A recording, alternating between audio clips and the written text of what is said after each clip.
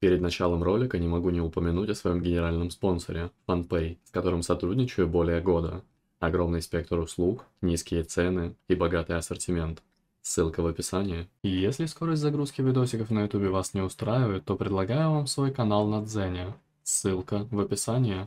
Доброго времени суток, дамы и господа. Поговорим с вами о 20-й годовщине WoW. Начнется она совсем скоро, хотя в зависимости от того, когда вы будете смотреть этот видосик, быть может она уже стартанула.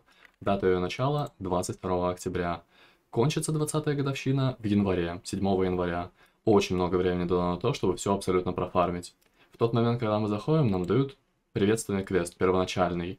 Еще одно своевременное приглашение. Нам нужно посетить пещеры времени. Именно там будет проходить праздник. Красота. Выглядит все нереально активно. Тут много людей, тут много игроков, тут много мобов, тут много различных интересных товаров, тут куча-куча всего. Ачивочки, новая валюта, новые питомцы. Есть чем заняться, реально есть чем заняться. На стриме я уже многое сделал, запись, само собой, стрима будет в описании к этому видосику. Ну а на видосике этом самом я расскажу вам вообще, чем можно заняться, что можно поделать. Тут имеется три активных события, прям вот в этой мини-локации. Первое — это ездомания. Получается, нам нужно юзать того маунта, который будет показан на сцене. Таким образом мы будем вылутывать ачивочки. Ачивочки нужны для мета-ачивы.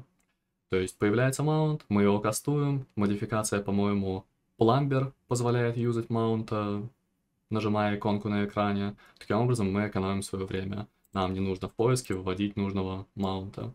Рядом находится сценка. Это сценка сказителя. Тут ивент проходит дважды в час. В 0 минут и в 30 минут. Жмем экстра батон, 50 раз нужно его нажать с целью того, чтобы вылутать ачиву для мета-ачивки.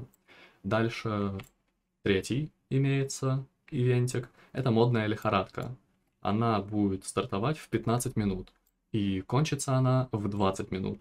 Я пока видосик записывал, уже ее пропустил. Но ничего, не беда. Нам всего-то там нужно один разок нажать. Но есть ачива также и на 20 штучек. Мета-ачивка. Давайте ее рассмотрим. Что она вообще из себя представляет? В ходе этой мета-ачивы мы должны сделать многое. А именно, мы должны хотя бы одного маунта кастануть, который будет показан на сценке.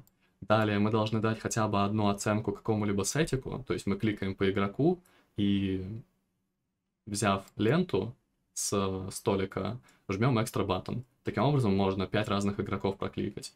Маленькие шалости. Ачив довольно-таки интересный. Мы должны подойти к сундучку. В этом сундучке мы забираем зеркало для питомцев. Забираем зеркало для питомцев. Юзаем какого-нибудь своего питомца. Любого вообще абсолютно. Жмем зеркало. И мы превращаемся в питомца. Таким образом, у ДК может быть три вурдалака. Вау! Притом он сам вурдалак. Дальше, следующая ачива. Воздухоплаватель. Разные шарики летают по этой мини-локации. Юзаем разные шарики, таким образом получаем ачиву. Шум с галерки. 50 экстра батонов рядом со сценкой Хранителя Истории Чо. К истоку. Убиваем ворлдбоссов. Никто не звал. Убиваем ворлдбоссов. Редактор кодекса Анкераж. Хоть и Близы говорили, что много будет доступно контента без ТВВ, но, походу, конкретно для этого нужно иметь дополнение ТВВ купленное. Может быть, это пофиксят. То есть, таким образом, мы вылутываем маунта.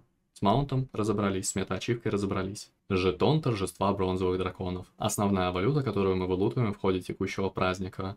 Вылутывать ее можно еженедельно. Но некоторое количество жетонов мы получим только за те активности, которые можно сделать вообще единожды.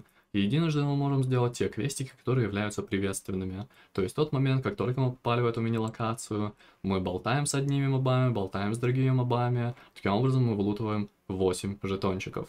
Также нам дают квест, который мы можем сделать единожды. Это правда о клане черного железа. 5 жетонов. То есть один разок нужно сделать это. Один разок хотя бы Таурисана нужно убить. Окей. Также еженедельные активности. Куча различных квестов, имеется здесь, еженедельного формата. К примеру, прохождение пяти подземелий в режиме путешествия во времени. Полный список я напишу справа, слева на экране, вы все это увидите абсолютно. Также имеются виклики в Казалгаре, то есть если у вас не куплено дополнение за Варвизин, то вы не сможете никак сделать эти виклики, и, само собой, вы никак не получите эти жетоны. То есть компания Blizzard говорили о том, то, что какое-то количество наград вы получите, даже если у вас не куплено дополнение. По факту они правы, но вы будете вылутывать меньше жетонов. Давайте немного рассмотрим все это. Единожды вы получите 13 жетонов, то есть сделав квесты, которые можно сделать вообще один раз на всем аккаунте. Далее 18 жетонов можно вылутать, находясь в этой мини-локации, делая виклики конкретно отсюда. И их 6 штук, 6 штук умножаем на 3, 18. И также в Казалгаре, то есть получается в вообще всех этих локациях, можно вылутать 17 жетонов еженедельно. То есть, если у вас нет купленного ТОВ, то каждую неделю вы будете терять 17 жетонов. Это существенно. Рассказал про мета-ачиву, рассказал про жетончики, поговорим еще и о других новинках, которые имеются. У нас имеется рейдик в формате LFR. То есть, если мы не хотим его идти в героик формате ради того, чтобы вылутывать гига-вещицы, ради того, чтобы напрягаться на боссах, можем сходить LFR-чик, подлутать ачивочки, подлутать выполнение квестика и забить вообще на трейд. Также у нас имеются данжики, 6 данжей, разные крылья, Забытый город, например, два крыла имеется, Стратхольм два крыла. А, проходим абсолютно все шесть данжей, тоже вылутываем ачивочку. Таким образом еще фармим знаки. Знаки нужны в огромном количестве для того, чтобы купить абсолютно все-все-все товары. Мне вот, например, чуть-чуть не хватило. Также можно купить баджики на репутацию, к примеру, с э, племенем Зандалар. Это давняя фракция, которая была удалена, и, возможно, у вас так же, как и у меня, 0 из 3000 подапать ради того, чтобы повысить свой счетчик на превознесение. Хороший вариант.